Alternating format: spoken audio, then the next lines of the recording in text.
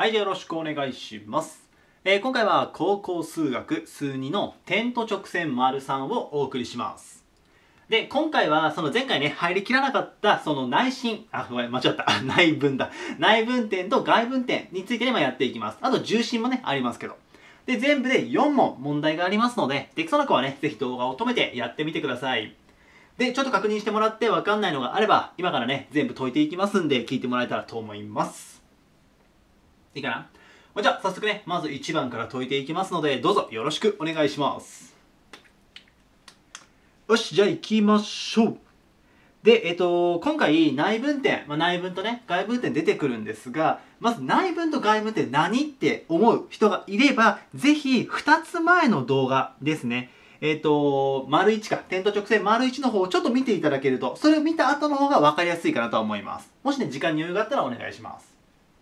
で、まず今回2点 A、まあ、座標が書いてある。で、B も座標が書いてあって、それを結ぶ線分 AB について次の点の座標を求めようと。で、1つ目がその2対1に内分する点 C を求めに行きます。で、これはその点と直線丸1、まあ、2個前の動画ね。その時にやった内分点の求め方とほぼ同じです。やることは。で、どうやるかっていうと、まず、どうしようかな。下の方、いいか。ここからスタートしようか。ちょっと大きめに書きます。で、内分点なんで、この2対1の2と1を足すんだったよね。だから、足したものが下に来るので、3分のです。で、もちろん、今、x 座で、x 座標、y 座標の話をしてるから、求める点 C も x 座標、y 座標両方出てきます。だからまず x からいくよ。で、こうなると。で、x 座標は今、マイナス3と1を使ってるね。で、今、AB をなえっと2対1に内分となっているので、マイナス3と1。これ A ね。で、えっ、と B が1でしょ。で、これを×掛けするっていう話をね、その時もやりました。で、全く同じことをします。だから×にかけて、マイナス3、そして2。一応やろうか。マイナス3、足す2。2つ足してね、×掛けしたものを。で、それを y 座標でもやると。まず2対1に内分だからもちろん分母は3です。2足す1でね。で、y 座標は4と2になっているので、ちょっ消しますよ。4と2。これを×掛けするから、4足す4だね。つまり、求める答え C は、こっちは、えっ、と、上がマイナス1になるから、マイナス3分の1。ちょっと短かったね。マイナス3分の1。と、y 座標が3分の8と。ね、これで終了となります。やってること同じなんだよね、あの時と。ね、同じなんですが、x 座標と y 座標をバイト噛んでる別々で求めればいいという感じでやってください。で、次が外分です。で、外分もその時と同じです、やり方は。で、どうやるかっていうと、結局は3対4に外分。だから、どっちかにマイナスをつけると。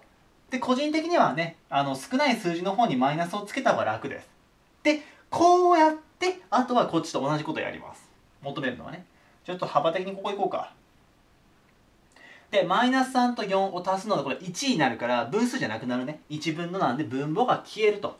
で、あとは、マイナス3と1。ちっちゃいかどうか。こうだね。で、×掛けをするので、えっ、と、マイナス12、マイナス3か。と、y が4と2なので、こうなって×掛けすると、四子16のマイナス6と。こうなるから、求めたかった座標は、マイナス15。そしてこっちが10か。これが2番になります。これちょっとあれだね。分かりにくいから番号つけとこうか。1と、こっちが、よし、いいじゃない。まあこれが内分点と外分点です。まあ、やることはあの時と同じと。で、ラストが中点だね。で、中点もその時と同じです。やることは。はい。まあ、中点っていうのは1対1内分なので、まあ、1対1内分だと思って解いても構わないんだけど、結局は、えっ、ー、と、下行きます。中点を求めるときは、2分のです、まず下が。2分のね。で、足したものが分母に来ます。嘘、分子に来ます。だから、マイナス3と1を足せばいいと。まあ、ちゃんと書けば、マイナス3足す1だね。で、y 座標も同じ。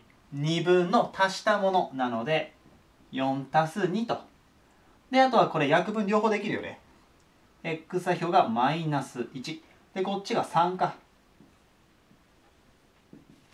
これが中点の求め方となります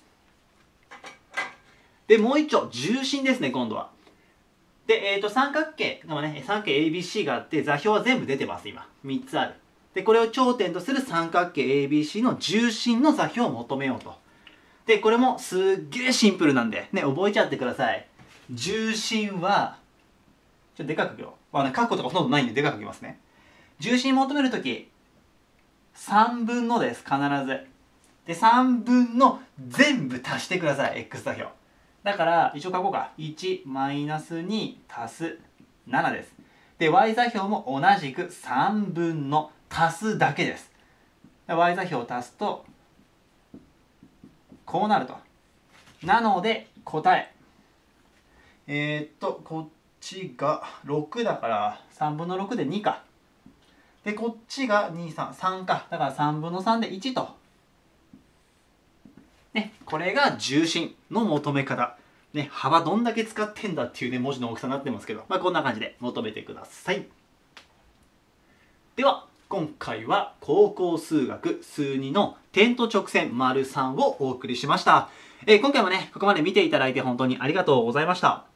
で、次回が、えっ、ー、と、対象の点かな？ちょっとね、違うタイプの問題をまた取り上げますので、もしよかったらね、そっちの方も見てみてください。ほんじゃ、今回はこれで終わります。以上です。ありがとうございました。